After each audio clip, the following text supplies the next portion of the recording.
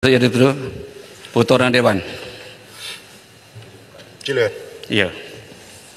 Datuk Yang Dipertua, Peraturan 366, seseorang ahli tidak boleh mengeluarkan sangkaan jahat ke atas sesiapa ahli yang lain.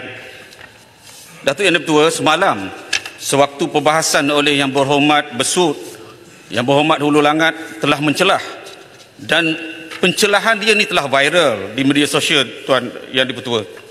Saya petik kata-kata yang berhormat hulu langat. Mahkamah putuskan ada isu berlaku kesalahan dan kemenangan calon di Parlimen Kota Terengganu dibatalkan baru-baru ini.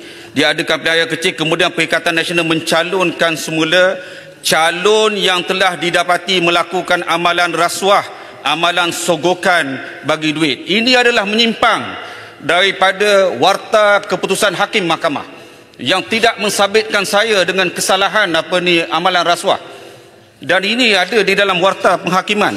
Yang mana di dalam warta penghakiman hakim telah menyatakan beliau tidak menamakan mana-mana pihak. Ini adalah menghina keputusan mahkamah dan menghina saya sebagai wakil rakyat di Kuala Terengganu. Apa yang disabitkan adalah berkaitan dengan program kerajaan.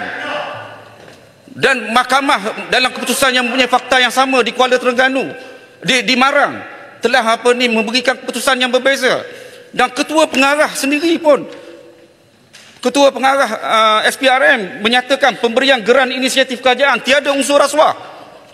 Ini adalah menghina saya sebagai ahli parlimen Kuala Terengganu. Saya minta tarik balik.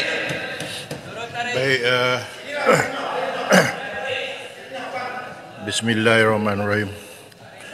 Baiklah uh, yang berhormat Kuala Terengganu remedi kepada isu yang telah dibangkitkan di bawah perkara 60 eh, 36 itu tersebut ada caranya bila melibatkan dalam dewan ini ya saya sarankan yang berhormat pasal benda ini berlaku selepas ya bukan pada hari ini ataupun berlaku seketika di depan ya.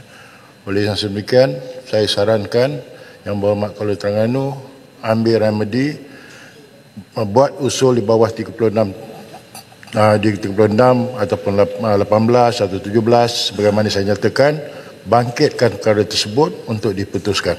Kalau benda ini berlaku ketika dan masa ini satu keputusan boleh dibuat. Faham? Ya. Baik terima ya. kasih Datuk Elektor saya akan ambil remedi itu. Silakan. Baik Nah. Kita tanya dengan besut bila menyebutkan soal berkaitan dengan rasuah tadi. Hmm. Kita tengok isu pilihan raya kecil di Kuala Terengganu. Mahkamah dah putuskan bahawa berlaku amalan rasuah. Berlaku amalan sogokan duit. Mahkamah putuskan ada isu berlaku kesalahan dan kemenangan calon di Parlimen Kuala Terengganu telah dibatalkan. Baru-baru ini diadakan pilihan raya kecil semula. Kemudian Perikatan Nasional mencalonkan semula calon yang telah didapati melakukan amalan rasuah, amalan sogokan bagi duit. Saya nak tanya kepada Besut, adakah sekarang ini amalan rasuah dah jadi halal atau haram dalam Perikatan Nasional? Terima kasih. Ya, Besut. Ulu Langat ni dia tak baca semua keputusan. Keputusan kata uh, Kuala Terengganu tidak mengamalkan rasuah sebab tu dia tidak batalkan. Dia mana boleh dia masih boleh bertanding. Faham tak? Tak faham? Cuba baca semua. 30 saat. Tak baca semua.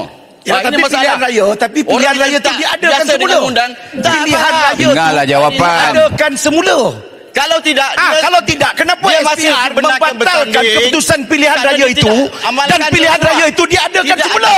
maksudnya berlaku amalan rasuah berlaku amalan bagi duit. Berlaku amalan sogokan. Dengar jawapan dulu berlaku. Ini berlaku. Dengarlah jawapan ulangan ini berlaku.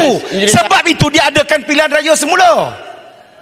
Jadi kita nak tahu sama ada sekarang ni rasuah dia dah jadi halal ataupun haram dalam perikatan nasional. rasuah yang berhormat Besut dan yang berhormat Hulu Langat sila duduk. Cukup masa dah. Okey. Berikutnya. Langat tak faham.